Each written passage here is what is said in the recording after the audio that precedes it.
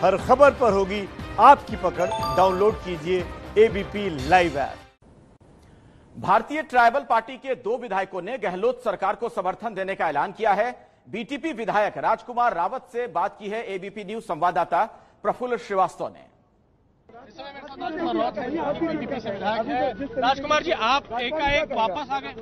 जो आपका वीडियो आया था कि आपको तो घेर सही बात था वो सही बात था लेकिन हम हमारे मुद्दों के साथ वापस आए हैं आज और सीएम साहब ने हमें आश्वस्त किया है कि उन लोगों को ये जो मुद्दे हैं उनको हम करेंगे। लेकिन आपकी पार्टी ने तो कुछ और फैसला किया नहीं पार्टी ने उस समय किया था।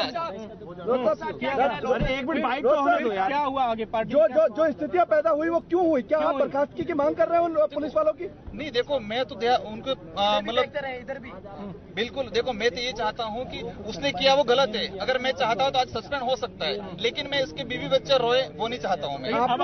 विशेषाधिकार आपने मुख्यमंत्री के सामने सत्रह मुद्दे रखे।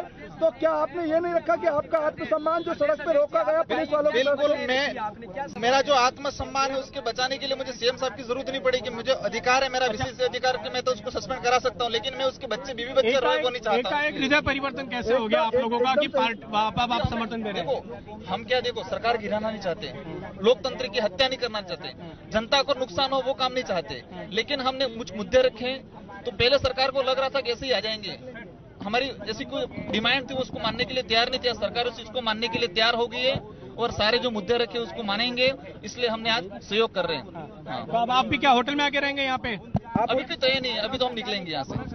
यहाँ रहेंगे नहीं रहेंगे? अभी कोई तय नहीं है हम एक बार प्रेस कॉन्फ्रेंस का सीएम साहब से मिलकर आपसे क्योंकि आप आपकी मुलाकात नहीं हुई है। सीएम साहब से मुलाकात होगी हमारी डिमांड रख ली और लोकतंत्र की सबसे बड़ी ताकत आप हो। डिमांड रख ली सर आपने इस उठापटक के बीच में जहाँ पर खरीद के आरोप लग रहे हैं। लोकतंत्र की सबसे बड़ी ताकत आप हो इसलिए मुझे मुझे मुझे लगा कि आपसे मिलना चाहिए।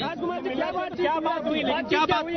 हमारी जो डिमांड है वो सीएम साहब कह रहे हैं कि उसको पूरा करेंगे क्योंकि हम जिन मुद्दों के साथ चुनाव लड़के आए हैं वो मुद्दे पूर्ण होने चाहिए। हमारा सबसे बड़ा मकसद वो है। तो आप अब अब किस अब तो आप लोग इनके साथ हैं गहलोत साहब के साथ। मुद्दों के साथ सीएम साहब को सहयोग कर रहे हैं। बिल्कुल। मुद्दों के आधार पर होगा। आपको पहले पहले पहले